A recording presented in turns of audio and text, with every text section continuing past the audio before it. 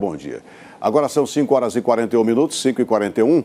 Olha, no ano passado, mais de mil pessoas foram atendidas em unidades de saúde do estado, vítimas de picada de cobras. Há menos de 10 dias, uma criança também foi picada em Várzea Grande, mas não conseguiu atendimento no município.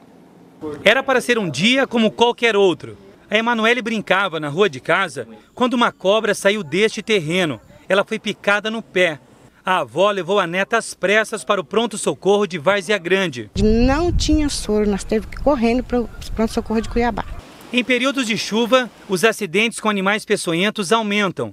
No ano passado, foram 2.336 casos, mais da metade é de vítimas de picada de cobra. De acordo com a Secretaria Municipal de Saúde, o Centro de Informação Antiveneno, que funciona dentro do pronto-socorro de Cuiabá, recebe semanalmente de 30 a 50 ampolas. O CIAV é uma referência de atendimento no estado.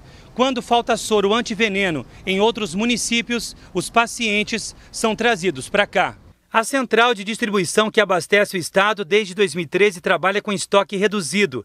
Atualmente estão disponíveis 1.400 ampolas de soro usado contra o veneno de serpente. Daqui o antiofídico é enviado para 14 escritórios regionais. Desde 2013 nós vamos passando por um período, esses anos, de um racionamento. Tá?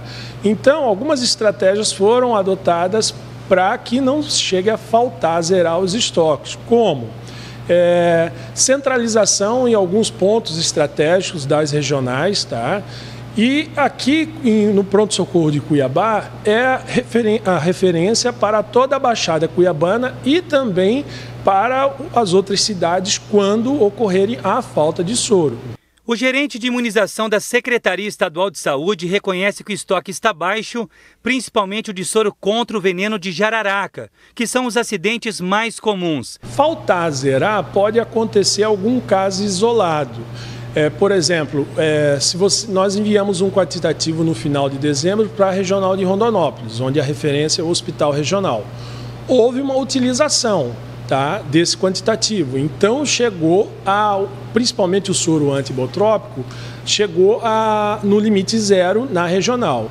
O que, que nós estamos fazendo? Estamos enviando já um quantitativo, porque eles iam receber no início de fevereiro, nós estamos adiantando agora para suprir essa necessidade. Bem, são 5h44. Sobre a criança que mostramos no início da reportagem, é, que não foi atendida em Várzea Grande, em nota, a Secretaria Municipal de Saúde afirmou que o pronto-socorro de Várzea Grande ainda não possui estrutura física e nem profissionais capacitados para esse tipo de atendimento. Por isso, os pacientes são encaminhados para Cuiabá, que é a referência no estado.